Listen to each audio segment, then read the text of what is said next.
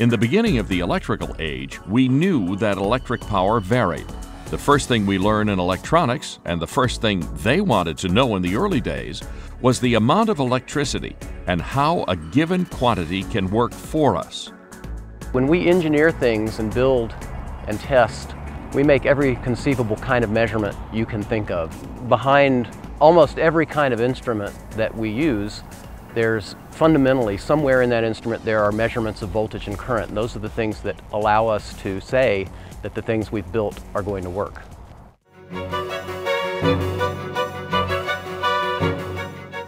Early electrical pioneer Alessandro Volta could increase the power of his battery by physically adding more zinc and brine discs for different experiments that required more power. But how could we precisely measure electricity for better experimentation?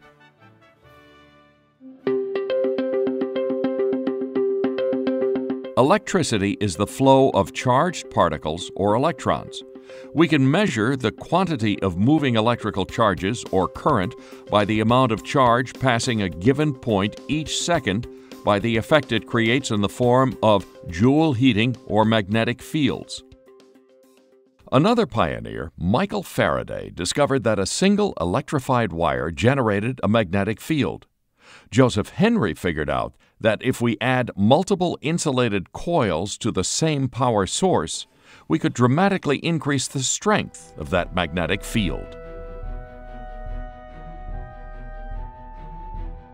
The first idea developed by early pioneers was to use the strength of the magnetic field generated in a coil to deflect a compass. In this exercise, you can see how an electric current creates a circular magnetic field around the wire. The farther out you go from the wire, the weaker the field, and the higher the amperage pumped through the coil, the stronger the effect. This is the basis for how the ammeter works. Early pioneers discovered that the shape of the magnetic field around a coil is circular and moves in one direction. Now, if we reverse the polarity, we will see that the magnetic field also reverses. This is why you need to hook up an ammeter according to its polarity. Galvanometers were adopted to detect current, and some use a magnetic needle hanging by a string inside of an electromagnet. The more amps in a circuit, the more the needle would move. The device was sensitive to movement and it was thrown off by other disturbances in the magnetic field. Laying the groundwork for future meters, James Maxwell was able to explain magnetic fields using his equation in the 1860s. With an increased understanding of the mysterious world of magnetism, we were set to build a better meter. In the age of the telegraph, Western Electric and other companies developed some galvanometers for measuring lines, but we needed something better. In the 1880s, Thomas Edison was the first to have many customers attached to one power station, so he needed a way to charge customers for power consumption. Without a good meter, he crudely approximated the energy used by charging customers by how many light sockets they had installed. That was short lived, and he moved to a primitive electrochemical method. Elihu Thomson and Edward Weston saved the electrical industry by developing a meter that worked in a new way. Instead of using compasses which align themselves to the Earth's magnetic field, they created movement in the needle using the left hand rule. This is the same concept that makes motors run. This became the basis for the moving coil galvanometer. This type of amp and voltmeter dominated for over 100 years. Let's look at the basic principles for a moment. If we run electricity through a wire set in a magnetic field, it induces movement. We can demonstrate this and build a simple meter using just magnet wire, two magnets, a power supply, and some structures. We will use gravity to hold the wires down, but normally a meter will use springs. The wire is suspended in the space between two magnets.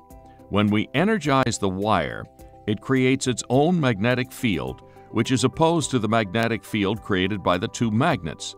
This induces motion. The left-hand rule causes the wire to move up. The more power we put into the wire, the more it moves up. Moving coil galvanometers place an energized coil of wire inside two permanent magnets.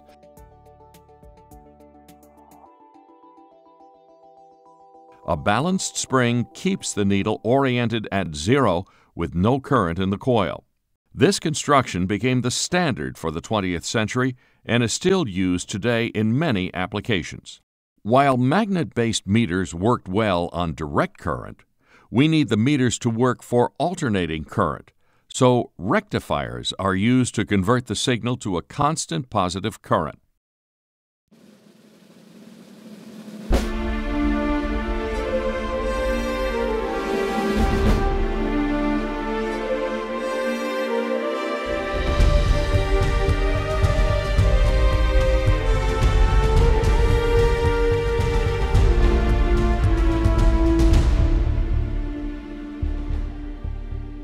Having an accurate and fair billing system was necessary to get the electrical industry off the ground and lead to the expansion of AC electrical services.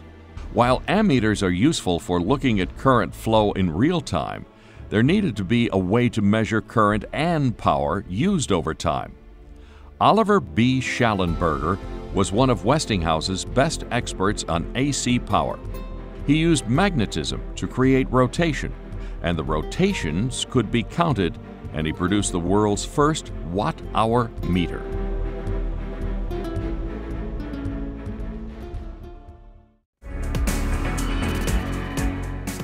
To make a voltmeter, we can use the same mechanism as an ammeter, but we put a resistor in series with it because we don't want most of the power flowing through the device. The current flowing in the resistor and a sensitive ammeter is an accurate measure of the voltage to be measured. Voltage is the measure of potential energy between two points per unit of electrical charge. We can measure voltage with a voltmeter, a ratio potentiometer, or more recently, an oscilloscope. Another way we can measure voltage is by using electrostatic force instead of magnetic force. This method was used often with high voltage. Charges attract and cause movement of the meter vanes indicating the measured voltage.